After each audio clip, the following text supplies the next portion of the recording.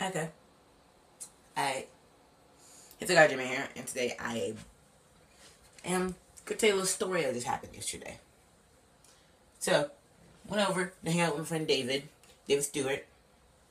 Mm-hmm. It's gonna happen. Elijah, the phenomenal one, and the Golden Vigilante, John, crashed, crashed and just came out, nope, came to hang out out of nowhere. It's alright. Gonna stick with it.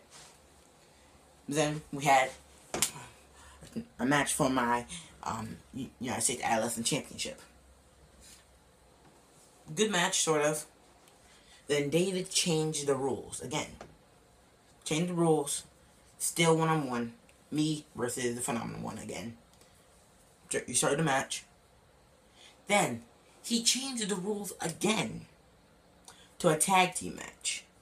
Elijah and John, with Bros, against me and David. Again, I'm cool with this. And again, the stipulation was because he, because David said so. If Elijah won, Elijah's team won, he's now the United States Adolescent Champion. If my team won, me and David, I'm still champion, and then I had to face David. Alright. So, good match. Good start off a match. Then, when I was taken down by John, David would put into the bank statement, tapped out in five seconds. Five seconds, tapped out. He screwed me. And then he said, the big thing, he planned it. He planned me to lose my championship. I'll admit, I was the heel in that. I was the bad guy. But then, change roles. They are the bad guys. I lost my championship because of them, because they planned it. So now, I challenge David for his hardcore championship. He just made a video. Legitly, just made a video saying that he, I can't beat him, I'm going to lose. You crazy, man. The biggest thing about this, biggest thing, he turned on me. I knew Elijah would do this. John, eh, he was Thor there, but then Thor wasn't. But David, unexpected David, would turn on me just like that.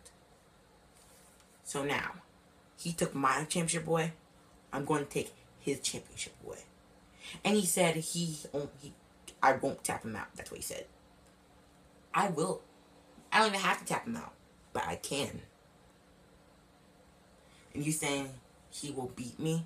The chances of him beating me is the chances of Zack Ryder becoming the WWE champion. By the sorry for the Zack Ryder fans. Sorry. But he ain't gonna win it. Just saying. But still. David really, really screwed me. Like that. And now he's saying he can't beat. I can't beat him, I mean. Alright, I'll take that. But it's for his hardcore championship. Hardcore rules. I can go hardcore. What about you, David? You screwed me. I'm my championship. I'm going to take your championship. If it's the last thing I do, I don't care if I break my arm, break my neck, break my legs, break my ankle. You're losing your championship. Somehow, some way, taking your belt, and the belt will be wrapped around my waist. Probably not come too fat, but besides the point. I am winning.